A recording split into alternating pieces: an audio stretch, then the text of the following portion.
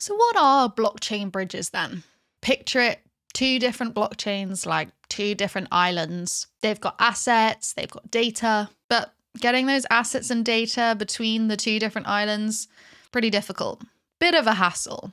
That's where bridges come in. You build a cheeky little bridge between the two islands. It allows you to take something from one chain and pop it over onto the other chain.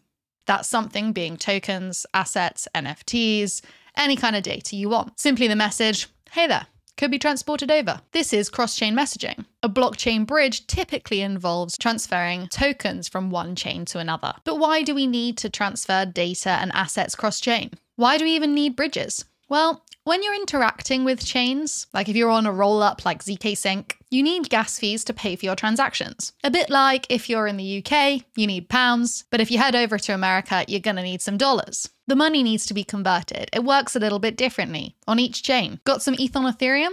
Lovely, but you'll have to convert it to some ETH on ZK Sync if you want to use it over there. Now, there's going to be a little bit of terminology here. We've got bridging, which typically refers to cross chain transfers of tokens, moving tokens cross chain, and then also cross chain messaging, which is just any arbitrary data. It could be tokens, but that's more specific. Any arbitrary data or message or even tokens sending cross chain is cross chain messaging. Bridging is a type of cross chain messaging where you're sending specifically tokens. When we talk about bridging, we're taking funds from one chain to another chain. We typically refer to the chain that we're taking the funds from as the source chain, and the chain that we're taking the funds to, the destination chain. You got the source, where it came from, and then the destination, where you're taking it to. So, with that said, how does bridging work? Well, there are a couple of different mechanisms for bridging, and I am about to give you the tea.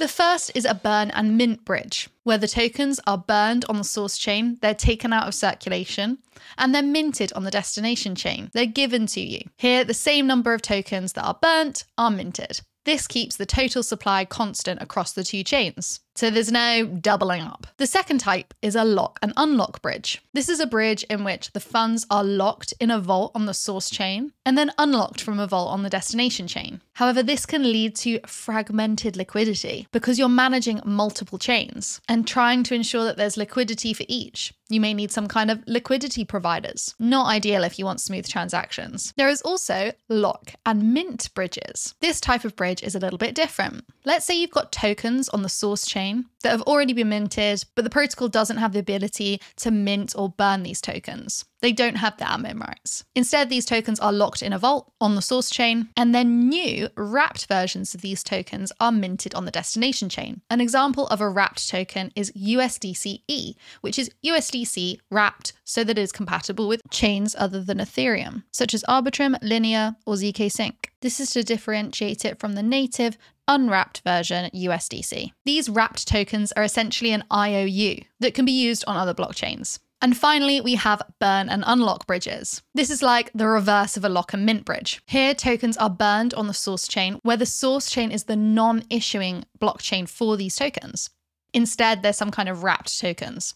And an equivalent amount of these tokens is issued from the vault on the destination chain, which is in fact the issuing blockchain, the blockchain in which these tokens come from. With this ability to send data and assets cross chain, you can build cross chain protocols like DeFi applications, outsource computation to cheaper chains, aggregate cross chain yield, create cross chain NFTs, create hot cross buns, create a crisscross crisscross, play noughts and crosses. Wait, wasn't the joke about CrossFit? Oh no, that's not for me. That's, this is Pat's joke. I've stolen it. Hands up. Now let's talk about how bridges are managed. They can be either centralized or decentralized. Often, when people are bridging their funds cross chain, they're going to use a centralized bridge and they're going to get wrecked. They'll connect their wallet, they'll hit swap, and then they'll pray that the money will show up on the other side. Centralized bridges are run by a single entity, which means that you need to trust them to manage your assets responsibly. It's like you're sending your assets to someone and you're saying, please send me the same amount of tokens on the destination chain. And then you just wait nervously on the edge of your seat, hoping and praying that your tokens will, in fact, turn up on the other side. And this isn't really the best approach. Instead, we want to use decentralized bridges. Aha! These are trust minimized bridges that instead of relying on one single entity to make sure that they keep their promise that they're going to give you the tokens on the other chain, you're instead relying on the trustworthiness of a network of people. Chainlink CCIP offers this decentralized solution. Instead of moving your funds through a single point of failure, a single entity who may in fact not give you your funds on the other chain, you move your funds through a collection of decentralized Chainlink nodes, where if one of these nodes acts maliciously, then the other nodes will punish them, making the system trust minimized. You may have also heard the terms native and third party bridges. Let's go through what those mean. Native bridges are built by the blockchain team themselves. So, for instance, if you're working on ZK Sync, then there is a ZK Sync native bridge, which is built by the ZK Sync or Matter Labs team. They're pretty secure and trustworthy, but they're usually compatible only within their own network. And they can be pretty slow as they require you to wait for finality, which can be between 24 hours for ZK rollups and seven days for optimistic rollups. So you just send your money off and then you have to wait seven days to receive your funds on the other side. Pretty annoying. Third party bridges, on the other hand, are developed independently from the team who built and manage the chain. These types of bridges usually don't require you to wait for finality and instead have some kind of liquidity pools and allow you to instantly get your funds on the other side.